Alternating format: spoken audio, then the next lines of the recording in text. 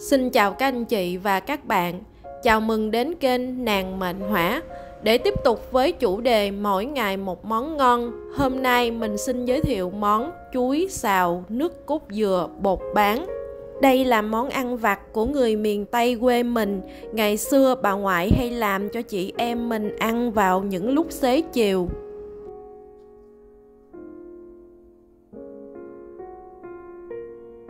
Để thực hiện món ăn thì mình cần ngâm một ít bột bán, không cần sử dụng quá nhiều bởi vì nhiều thì nước cốt sẽ đặc, ăn không ngon.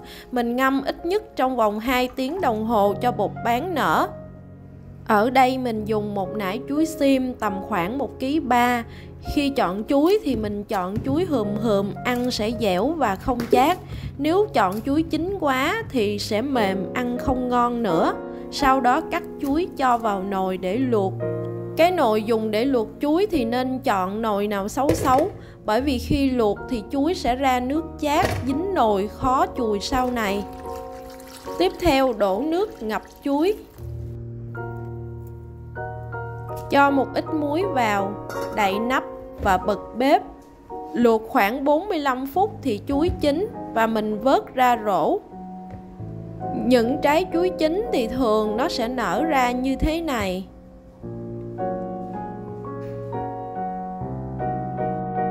Tiếp tục cho mè đen vào chảo rang. Khi rang mè thì dùng lửa nhỏ và thêm một ít hạt mè trắng vào để kiểm tra mè đen chín hay chưa. Thì khi mè trắng chuyển sang màu vàng là mè đen đã chín, mình sẽ trút mè ra chén. Bây giờ mình thắng nước cốt. Với một nải chuối thì mình dùng 500g nước cốt dừa, 10 lá dứa cho nước cốt thơm,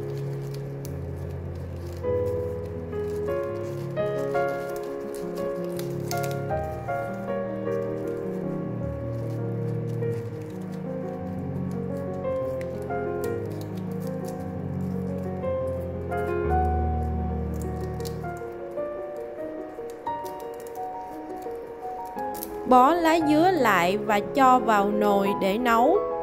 Khi nấu nước cốt thì mình dùng lửa nhỏ và thường xuyên khuấy đều tay.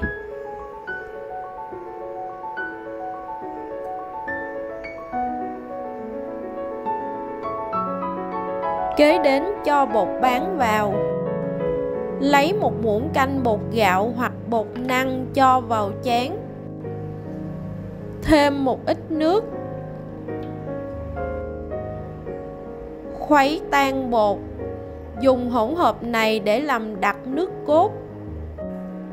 Tiếp tục cho một tí xíu muối vào nồi nước cốt. Thêm 3 muỗng canh đường. Và khuấy đều. Cuối cùng cho bột vào để làm đặc nước cốt khi cho bột vào thì mình nên cho từ từ để kiểm tra độ đặc của nước cốt và dùng muỗng để khuấy liên tục.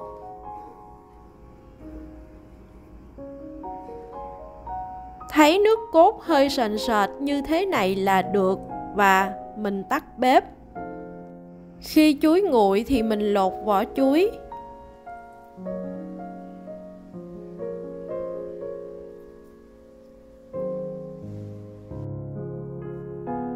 cho chuối lên thớt và cắt mỏng.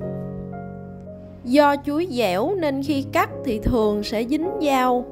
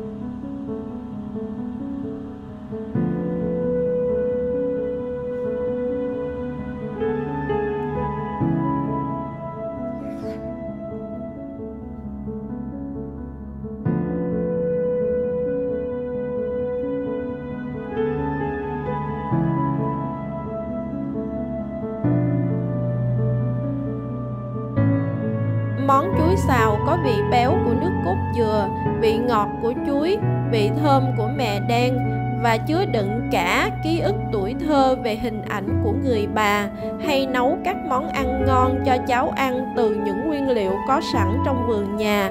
Chúc các anh chị và các bạn có những món ăn ngon bên cạnh những người thân yêu.